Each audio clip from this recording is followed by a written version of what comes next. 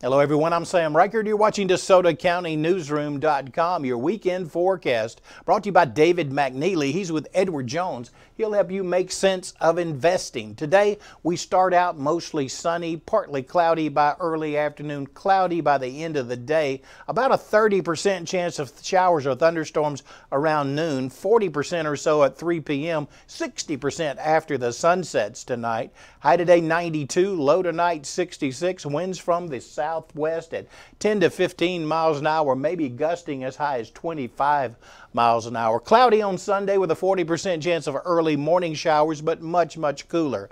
High temperature 70, low 60, winds from the northwest, 5 to 15 miles an hour. And then on Monday, a cloudy day, slight chance for a shower. High temperature 78, winds from the northeast, 5 to 10 miles per hour.